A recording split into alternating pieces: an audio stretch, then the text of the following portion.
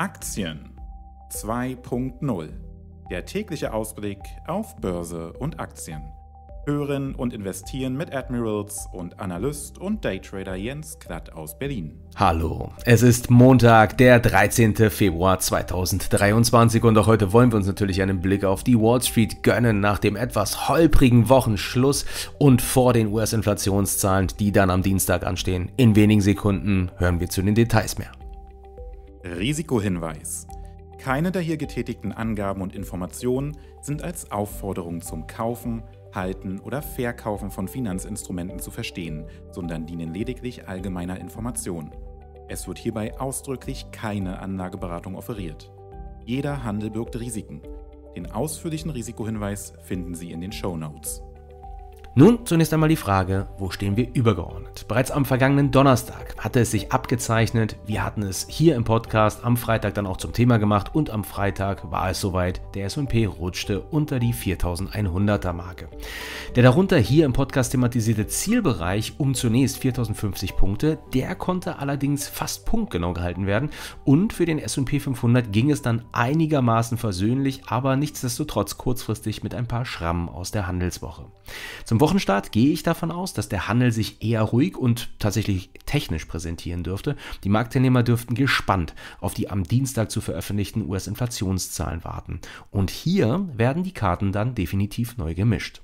Sollte es nach den eher restriktiv zu wertenden Kommentaren des Fed-Chairman Powell und dann auch dem Blockbuster Arbeitsmarktbericht Non-Farm Payrolls jetzt auch noch einen über der Erwartung von derzeit 6,2% liegenden Inflationsprint zu sehen geben, sehe ich kaum einen Grund, nicht davon auszugehen, dass es für den S&P 500 zurück unter die 4000 Punkte Marke geht und sich das Bild für Aktien insgesamt nach dem starken Jahresstart zunächst eintrübt kühlt sich die Inflation hingegen weiter ab und wir bekommen sogar eine Veröffentlichung unter 6% zu sehen, sprechen wir zügig von einem Test der August-Hochs um 4300 Punkte.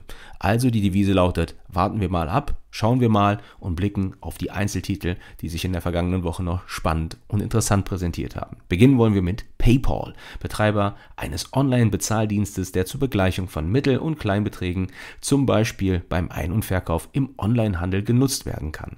PayPal am Donnerstag nachbörslich mit Zahlen und diese waren grundsätzlich solide, will ich mal sagen. Allerdings dann auch kein Grund wiederum übermäßig optimistisch für die Aktie zu werden. PayPal ist zum Jahresende trotz Inflations- und Rezessionssorgen deutlich gewachsen. Trotz weltwirtschaftlichem Druck ist PayPal weiter gefragt als Bezahldienst. Blickt man auf beispielsweise das Transaktionsvolumen, die Umsätze oder auch den dann ausgewiesenen Gewinn. Und laut Prognose wird sich daran auch im laufenden Jahr, laut PayPal jedenfalls, nichts ändern. Schauen wir auf die Zahlen. Im vierten Quartal stiegen die Erlöse im Jahresvergleich um 7% auf 7,4 Milliarden US-Dollar. Der Betriebsgewinn ist im vierten Quartal 2022 gegenüber dem Vorjahr sogar auf 1,2 Milliarden Dollar um 18% gewachsen. Den Nettogewinn wies PayPal mit 921 Millionen Dollar aus. Über das gesamte Geschäftsjahr 2022 setzte PayPal 27,2 Milliarden Dollar um, plus 8% gegenüber 2021. Trotz des starken vierten Quartals ist der Betriebsgewinn auf Jahressicht allerdings rückläufig, ging um 10% auf 3,8 Milliarden US-Dollar zurück, was sich dann auch beim Gewinn pro Aktie bemerkbar macht, auch wenn eine Wechselkursbereinigung hier laut PayPal eine 2 bis 4% besseres Ergebnis nach sich gezogen hätte. Trotz globaler Rezession und geldpolitisch restriktiver US-Notenbank, um der galoppierenden Inflation auch in den USA Einhalt zu gebieten, was zu einer Veränderung des generellen Konsumverhaltens geführt hat, wird PayPal doch weiter stark genutzt, wie gerade gesagt. Im abgelaufenen Geschäftsquartal summierten sich die durchgeführten Transaktionen auf 357,4 Milliarden US-Dollar. Das sind 5% mehr als noch im vierten Quartal 2021.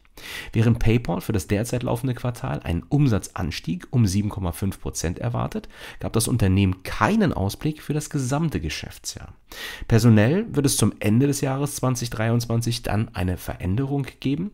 Präsident und CEO Dan Schulman, der zieht sich zurück. Ein Nachfolger wurde allerdings noch nicht gefunden bzw. benannt oder präsentiert. Bereits in der Woche vor den Zahlen hatte PayPal personelle Konsequenzen in Bezug auf die Belegschaft angekündigt, will diese um rund 7% kürzen. Was meiner Einschätzung nach allerdings keine große Überraschung darstellt, wurden solche Schritte im Technologiebereich doch bereits von anderen Unternehmen wie Meta, Amazon oder auch Google angekündigt.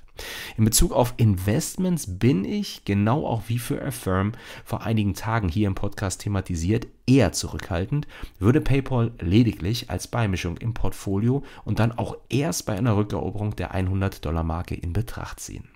Das war PayPal. Börsenkürzel PYPL. Dann wollen wir einen Blick werfen auf Lyft, US-amerikanisches Dienstleistungsunternehmen, das als direkter Wettbewerber von Uber als Fahrdienstvermittler bislang allerdings nur in Nordamerika auftritt. Auch der Uber-Konkurrent Lyft am Donnerstag nachbörslich mit Zahlen und diese konnten anders als beim Konkurrenten gar nicht überzeugen, ehrlich gesagt. Die Aktie wurde regelrecht ausverkauft. Der Tagesverlust belief sich am Ende auf mehr als 30 Prozent. Schauen wir zunächst auf die Zahlen. Lyft wies einen bereinigten Verlust je Aktie von 74 Cent aus und einen Umsatz von 1,18 Milliarden US-Dollar gegenüber 1,16 Milliarden US-Dollar seitens der Wall Street erwartet. Für den Absturz war dann wohl eher tatsächlich der durchwachsene Ausblick für das kommende Quartal hauptsächlich verantwortlich. Lyft erwartet im ersten Quartal des Geschäftsjahres 2023 einen Umsatz von rund 975 Millionen US-Dollar, weniger als die 1,09 Milliarden US-Dollar, die Analysten seitens der Wall Street erwartet hatten. Darüber hinaus erwartet Lyft im ersten Quartal ein bereinigtes EBITDA zwischen 5 und 15 Millionen US-Dollar und CFO Elaine Paul, die sagte, unsere Q1-Prognose ist das Ergebnis von Saisonalität und niedrigeren Preisen, einschließlich weniger Primetime, bezog sich auf den Zeitraum, in dem die Nachfrage von Passagieren höher ist als von Fahrern und in dem das Unternehmen mehr verdienen kann. Sie fügte hinzu, außerdem übt unser unterschiedlicher Zeitpunkt der Versicherungserneuerung einen zeitlich unterschiedlichen Druck auf unsere P&L, also Gewinn- und Verlustrechnung Entwicklung aus. Wir warten nicht darauf, dass sich das normalisiert, um wettbewerbsfähige Serviceniveaus zu erreichen. Wir konzentrieren uns darauf, Wachstum und Rentabilität zu steigern. Lyft verzeichnete im dritten Quartal 20,3 Millionen aktive Mitfahrer, praktisch unverändert gegenüber dem dritten Quartal, aber 8,7 Prozent mehr als noch im Vorjahr. Auch diese Zahl bleibt unter dem Niveau vor der Pandemie. Im vierten Quartal 2019 hatte Lyft beispielsweise 22,9 Millionen aktive Fahrer. Gemäß den im Dezember an alle börsennotierten Unternehmen herausgegebenen SEC-Leitlinien sagte Lyft, es überarbeite, wie es seine Nicht-GAAP-Finanzkennzahlen berechnet, um Anpassungen der Versicherungsrückstellung für frühere Perioden einzubeziehen, was sich auf das bereinigte EBITDA dann auswirkt. Es hat Restatements für diese Ergebnisse in seinem ergänzenden Ergebnisdokument bereits bereitgestellt.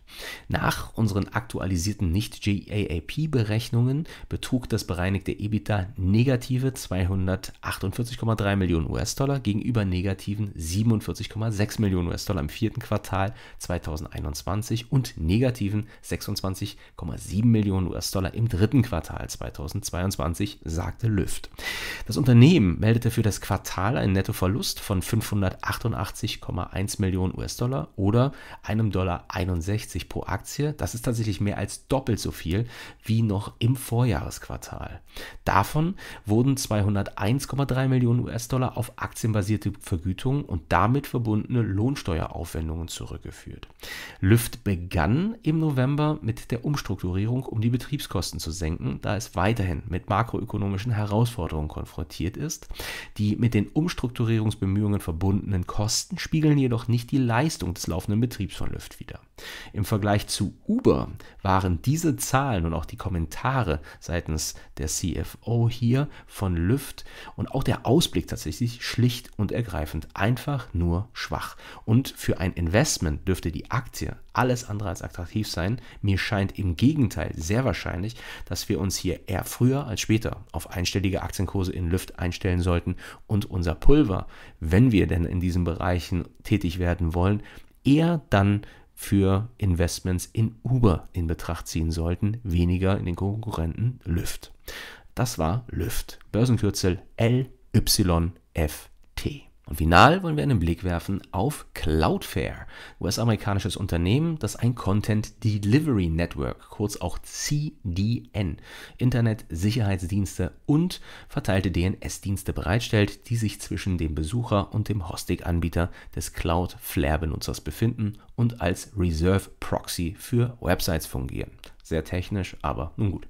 Auch Cloudflare am Donnerstag nachbörslich mit Zahlen für das abgelaufene Geschäftsquartal und diese waren, genau wie auch der Ausblick, recht stark. Cloudflare erwirtschaftete im dritten Quartal 2022 einen Umsatz in Höhe von 274,7 Millionen US-Dollar, ein Wachstum zum Vorjahr von 42 Prozent. Damit verlangsamte sich das Wachstum der Internetinfrastrukturplattform erneut im Vorquartal mit einem Umsatz von 253,86 Millionen US-Dollar betrug es noch 47 Prozent gegenüber dem Vorjahr.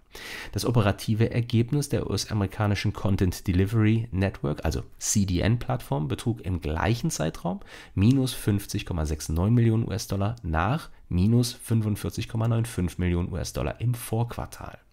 Das Nettoergebnis von Cloudflare lag im Berichtszeitraum bei minus 45,92 Millionen US-Dollar nach dem Vorjahr von minus 77,5 Millionen US-Dollar bzw. minus 0,14 US-Dollar pro Aktie nach minus 24 US-Dollar Cent pro Aktie noch im Vorjahr. Cloudflare erzielte einen operativen Cashflow von plus 78,12 Millionen US-Dollar, nahezu doppelt so hoch wie noch im Vorjahr, wo dieser noch bei 40,62 Millionen US-Dollar lag, und einen Free Cashflow in Höhe von 33,66 Millionen US-Dollar, fast viermal so hoch wie im Vorjahr, wo dieser bei 8,64 Millionen US-Dollar ausgewiesen wurde. Cloudflare konnte somit seine eigene Prognose erneut übertreffen. Matthew Prince, der ist Mitbegründer und CEO von Cloudflare, der sagte, im vierten Quartal haben wir einen Rekord beim Betriebsgewinn, der operativen Marge und dem freien Cashflow erzielt. Außerdem haben wir die Marke von 2000 Großkunden überschritten, die mehr als 100.000 US-Dollar pro Jahr an uns zahlen und eine Rekordzahl von Verträgen über 500.000 US-Dollar abgeschlossen. Und er sagte weiter, wir glauben, dass es in Zeiten wirtschaftlicher Abschwächung wichtig ist, Disziplin zu zeigen und die Effizienz zu optimieren. Grundsätzlich scheint Cloudflare ein interessanter Kandidat im Bereich Cloud Business für ein mittelfristiges Engagement. Allerdings muss ich sagen, ist die Aktie seit Jahresbeginn bereits rund fast 50 Prozent gelaufen. Und ich will nun erstmal eine, ich sag mal, Abkühlung über einige Wochen sehen und in diesem Zusammenhang, ob die Aktie auch die Region zwischen 50 und 52 Dollar wird halten können. Falls ja und wir brechen danach über 65 Dollar, dann scheint mir in den kommenden 6 bis 12 Monaten auf jeden Fall realistisch ein Lauf in Richtung 80 80 Dollar und vielleicht sogar darüber hinaus im Bereich des Möglichen. Das war Cloudflare. Börsenkürzel NET. Und das war der Admirals Aktien Podcast 2.0 heute am Montag, den 13. Februar 2023. Denken Sie daran, die Republik kann traden und sie kann traden und investieren 2.0 mit Admirals. Ich würde mich freuen, wenn Sie dann auch morgen am Blockbuster Tag Nummer 2 im Februar mit den US-Inflationszahlen hier wieder reinhören. Verbleibe bis dahin mit einem Happy Trading. Passen Sie auf Ihre Stops auf, haben Sie sich wohl, machen Sie es gut. Bis dann und tschüss. Das war Aktien 2.0 mit Jens Klatt.